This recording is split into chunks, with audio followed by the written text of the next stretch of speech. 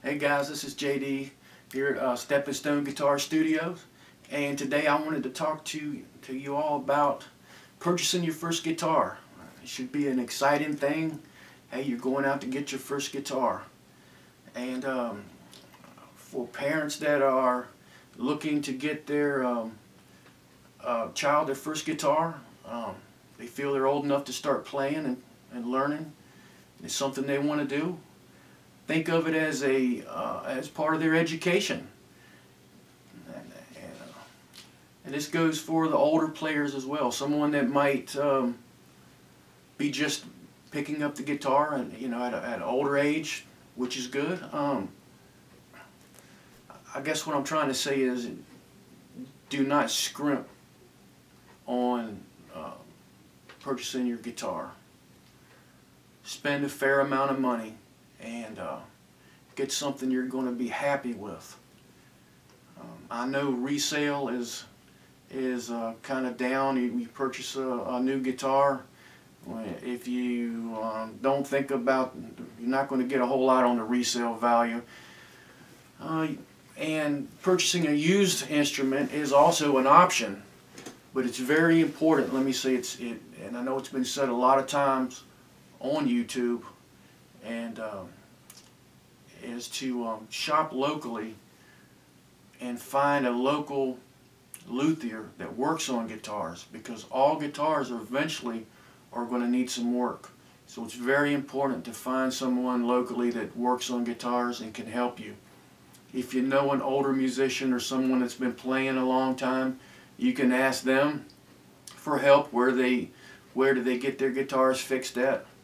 Um, a lot. I do a lot of setups myself, but there there are a few things I don't have the tools, and and I send off to the local luthier to have done. He's just more set up to do it. Um, so it's uh, like I said, it's important to get something that that you like. You, you need to identify with it, and um, most of the time that's going to be like your favorite artist. Think about who your favorite artist is. What type of music do you listen to? And what do you think about what you see yourself with? What type of guitar do you see yourself with? And um, I really think that either electric or acoustic is good to start with. The electric may be electric guitar may be a little easier because the strings tend to be uh, thinner and closer to the neck. You don't have to push them down as far and the strings are easier. So I, I would say uh, if most of the time the electric is going to be a little easier to play. Like I said, the strings, the gauge of the strings are smaller and the distance from the strings to the frets, which are these these little bars here where you push them down to, is closer. You don't have to push them as far. So I would probably recommend that the, the average person to start on electric the amount of money you spend is about the same. Um, you can get a nice Fender Squier. They're pretty decent guitars. They're about around $99. You can get a pretty decent practice amp for about $99 to $150. So you're looking at about $250. And the same goes for an acoustic. I think to get a decent acoustic, you're going to spend between two and $300. It's, uh, it's, it's, and I have to say it's very important to get something that you like because you're going to need to spend a lot of time with it. Uh, it has to be uh, become a friend and not an enemy. I mean, you want to look forward to your guitar lessons. Hey, you know, I, I, I enjoy it every time I pick up my guitars. When I see my guitars, I get a good feeling. I don't get a bad feeling. I like it, you know. And I'm always learning. Even after 40 years of playing, I'm still learning new stuff today. So it can be a journey in your life. So pick out a, choose your friend wisely. Uh, something you might want to consider, you might not have thought about, is the width. I know everybody says pick them up and feel them, but you might not really know what you're looking for. What am I, what am I feeling for? Well, for one thing, the width of the nut is going to be important to the size of your hand. And that means this, this little black bar here is the nut and um, This is 1 and 11 sixteenths. And I think that's about average. Um, in millimeters, let's see, 1 and 3 quarters in millimeters would be uh, 1.75. So anything larger than 1.75 is getting on the wide side. Anything below um, 1 and 11 sixteenths. I picked up a Luna guitar the other day. I thought it was a nice guitar. The neck was, the width of the neck was 1 and 5 eighths. Now most of the time if you go to the website, the manufacturers of the guitars, that's something that they're going to list on there that you want to look at to give you some kind of idea as to how wide the nut is on the neck.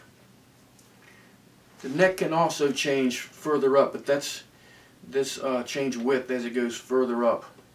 But as a, as a beginner, most beginners are, are more suited to um, playing at the top of the neck to start with.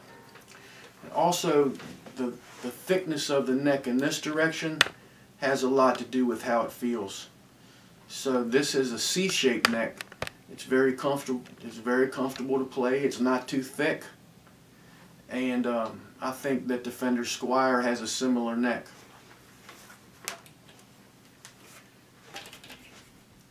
Let me show you this. This particular resonator guitar is very much like an acoustic.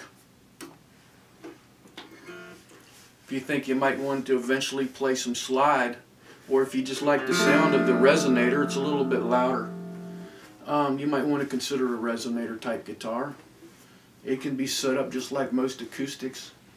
This particular neck has a, soft V shape where um, so I mean that's something you don't see every day it's something you don't feel every day I know um, I think that the, the high-end Fender Eric Clapton version has a soft V-shaped neck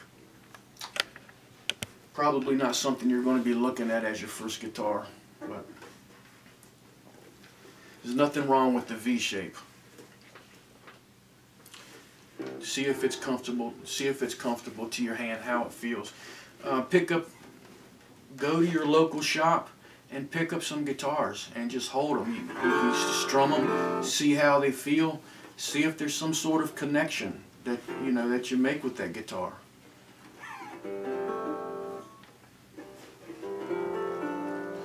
Um, also, when if you decide to purchase an acoustic guitar, uh, a lot of times the shop will, the local shop or, or anywhere that you purchase them, um, that you're there in person, will set them up for you when you first purchase them. Uh, and uh, they might say, well, you know, it has light strings on it. And that sounds pretty good. Light strings, yeah. Keep in mind, they also make extra light strings. And that's one point that I wanted to bring up is that um, I like to put extra light strings on some of my acoustics. It makes them a little easier to, to um, little easier to play. The extra light strings are smaller. They're closer to what you would get on an, an electric. Have it set up with the with the uh, the extra light strings. Uh, tuning problems. Sometimes with less expensive guitars, you can run into tuning problems. Um, the tuners, let me say, the tuners should turn smoothly. It should be easy to, to tune, uh, to go up and down. They, these, uh, these, these are your tuners right here. They should be easy to turn and turn smoothly. That's that's what I look for in a tuner. If I feel like I'm fighting to turn a tuner, know, I might look at something else that's got a little bit better tuners on it. That's one area that uh, the less expensive guitars are going to they're to cut some corners on the tuners. Um, also on the nut, uh, the nut here, uh, the material the nut's made out of, well it's not just the material but it's the time and the way that it was slotted. Sometimes you'll notice when you're tuning your guitar you might you might hear a popping sound right up here like the string mix or the, or you might notice on your tuner uh, you're set, sitting at the um, at the guitar shop and you've asked for a tuner so you can tune your guitar and um, it jumps from flat to sharp so you're tuning it you know and it's, it's trying to um, you're trying to get it up there and you're trying to get it up to that to that mark and then all of a sudden it'll jump and go past where you want it, that's an indication that it's the strings are sticking in the nut. And that's that's not a good sign. That's a sign that, that the, slots are not, the nut was not slotted properly and it's a, it, there's a would be a good bet that you would have tuning problems. The guitar would likely go out of tune on you while you were playing it a bit. So it's very important to um, that the nut be slotted properly. Now that's something that a luthier um, can take care of. Uh, they can fix. They can put a new nut on a guitar for about fifty dollars. But uh, so if you shop locally, which I would recommend, ask ask the store, ask your local music store, who repairs their guitars. What's the name of the luthier that repairs their guitars? And talk to him and say, hey, you know, I'm looking at playing this type of music. Uh, if I bring you a guitar, would, how much would you charge me to look at it? Most of the time, they're not going to charge you anything just to look at it and give you their opinion on it. Or if you know someone someone that plays a lot of music that's that's been around guitars a lot, you know, ask them to look at it and see what they think. You know, a lot of times at some of the bigger at the bigger uh, department stores, uh, you're looking at a guitar and um, one of the salespeople will pick it up, you know, and they'll start playing something kind of fancy on it, and you hand it back to you, and you're like, well, okay, you can play it. Well, let me tell you that most experienced guitar players can make some of the worst guitars sound good. So don't let that don't let them persuade don't let them persuade you into anything. Make make sure it's your decision as to what you want and make sure that you're able to, to have someone you trust look at it. It's an instrument that you, you need to spend some time with and you need to be happy with. Alright, um, I hope that covers uh, some of the things, some of the questions you might have. If you have any other questions whatsoever, please um, send me an email through YouTube or uh, below the below the video. Ask me a question. If there's anything I can help you with, I'll be more than happy. I'm JD, and this is Stepping Stone Guitar Studio. Thanks.